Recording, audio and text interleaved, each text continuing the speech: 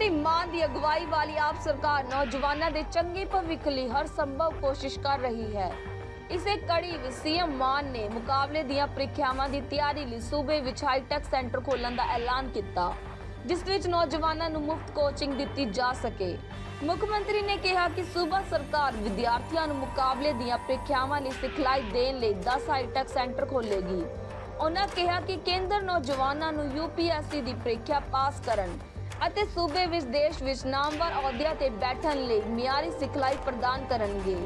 ਉਹਨਾਂ ਕਿਹਾ ਕਿ ਸੂਬਾ ਸਰਕਾਰ ਦਾ ਟੀਚਾ ਇਹ ਯਕੀਨੀ ਬਣਾਉਣਾ ਹੈ ਕਿ ਨੌਜਵਾਨ ਨੂੰ ਚੌਧਿਆਂ ਤੇ ਕਾਬਜ ਹੋਣ, ਨਾ ਕਿ ਜੇਲ੍ਹਾਂ ਵਿੱਚ ਕਿਸੇ ਗੈਰ ਕਾਨੂੰਨੀ ਗਤੀਵਿਧੀਆਂ ਵਿੱਚ ਸ਼ਾਮਲ ਹੋ ਕੇ।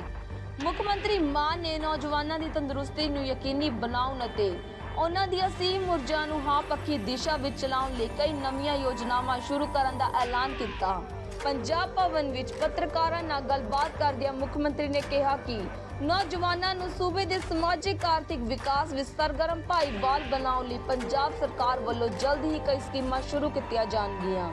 ਉਹਨਾਂ ਕਿਹਾ ਕਿ ਸੂਬਾ ਸਰਕਾਰ ਨੌਜਵਾਨ ਨੂੰ ਵਿਆਜ ਮੁਕਤ ਕਰਜ਼ਾ ਮੁਹੱਈਆ ਕਰਵਾਉਣ ਲਈ ਜਲਦ ਹੀ ਸਕੀਮ ਸ਼ੁਰੂ ਕਰੇਗੀ। ਸੀਐਮ ਮਾਨ ਨੇ ਕਿਹਾ ਕਿ ਇਸ ਨਾਲ ਨੌਜਵਾਨਾਂ ਲਈ ਸਵੈ ਰੋਜ਼ਗਾਰ ਦੇ ਨਵੇਂ ਰਾਹ ਖੋਲਣ ਵਿੱਚ ਮਦਦ ਮਿਲੇਗੀ।